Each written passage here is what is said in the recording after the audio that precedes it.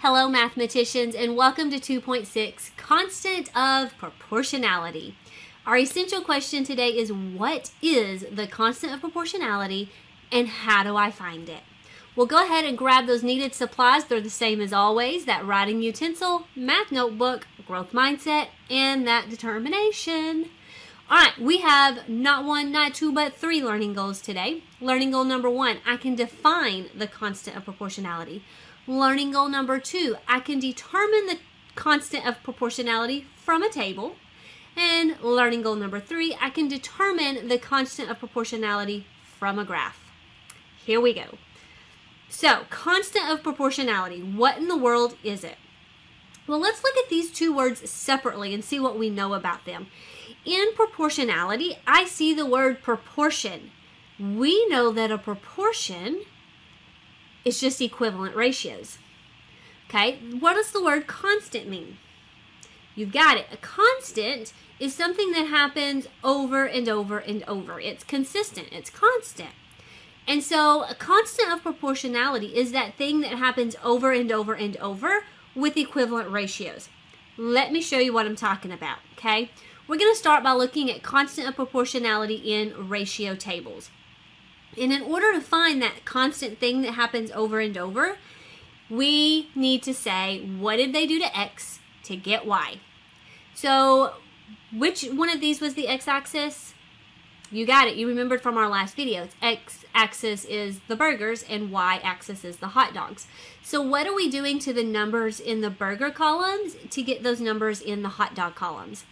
This one's real easy to see because we know 2 times 2 is 4. We know that 4 times 2 is 8. And we know that 6 times 2 is 12. That means the COP, the constant of proportionality, is 2. I'm doing that constantly. I'm multiplying by 2 over and over and over.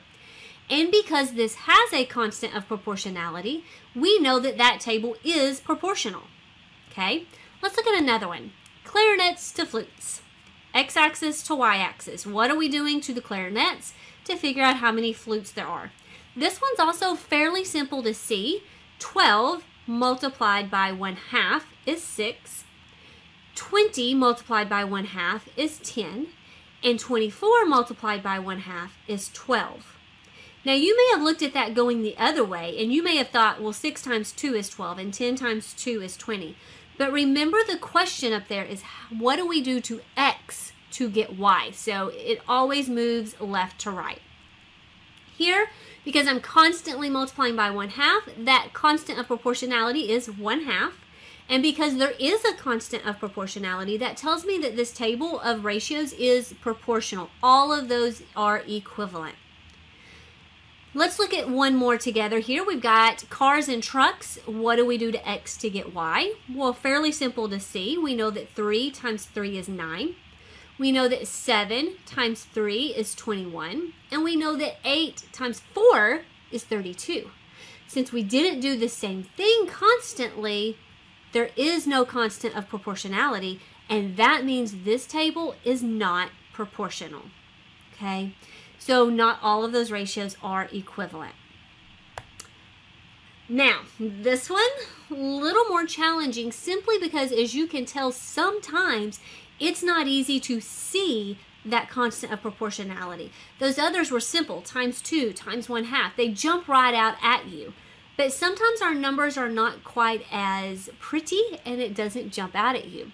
So when that happens, what do we do to figure it out? Well, we've got this little formula that just appeared on your screen. And it's y divided by x equals k. Well, we know where y came from. That's the y-axis. We know where x comes from, the x-axis. What in the world is k? k is the variable, the letter that we use to talk about the constant of proportionality, to represent the constant of proportionality. So in this one, I'm going to take the y and divide by x. So for that first row, it's going to be 1.125 divided by 1.5. That equals 3 fourths, or 0.75. I'm going to do the same for the next one. 3 divided by 4 is 0.75. That means they took 4 and multiplied it by 0.75 to get 3.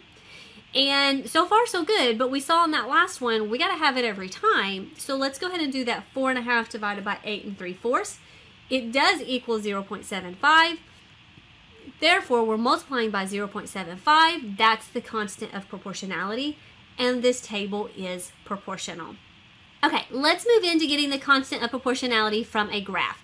This is where you're really going to need that formula y divided by k, y divided by x equals k. And so we're going to pick a point. I always like to pick a point like this one where it's exactly on the lines. It's not in between and I'm not trying to guess. And I'm going to see what the y coordinate is. In this case, remember, that is the up and down. That is the vertical. In this case, it is 10. And then the x, it is on 12. So 10 divided by 12 is 5 sixths. So on this one, the constant of proportionality is 5 sixths. Let's look at another one. Band instruments. This time we've got tubas and trumpets. Again, I'm picking out this formula. That's what I want to use. I'm looking at the point that is exactly on line so that there is no guessing. And the y I can see is 2 and the x is 4. So 2 divided by 4 is 0 0.5 or 1 half. Here, the constant of proportionality is 1 half. So that, ladies and gentlemen, is 2.6 constant of proportionality. Hopefully you can now answer the essential question, what is the constant of proportionality and how do I find it? Got to give my shout out as always to Amy Groesbeck, Amanda Newsom, Bricks and Borders, and Pixel Garden Designs for their amazing fonts and clip arts. Mathematicians, go forth and be amazing.